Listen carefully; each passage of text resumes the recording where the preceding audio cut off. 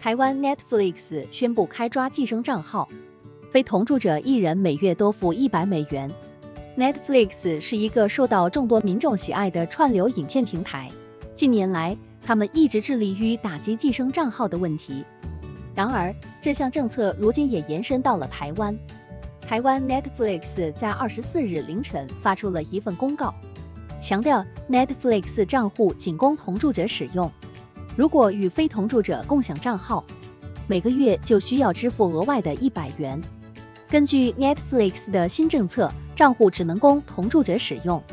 会员和同住者可以随时随地使用 Netflix，在家里、外出或度假时都能尽情观赏影片。而在 Netflix 的电子邮件中提到的新功能，将有助于会员轻松地转移使用者，并管理哪些装置可以存取他们的账户。Netflix 宣布，从今年第一季度开始，将开始扫荡寄生账号。为了判断使用者是否为账户持有人或同住人，Netflix 将利用 IP 位置、装置识别码等方式进行判断。虽然先前只有听说国外有这样的消息，但在二十四日凌晨，Netflix 官方正式宣布，台湾也将开始抓取寄生账号。并解释每个月多付一百元一人就可以与非同住者共享账号，这种方法受到了批评。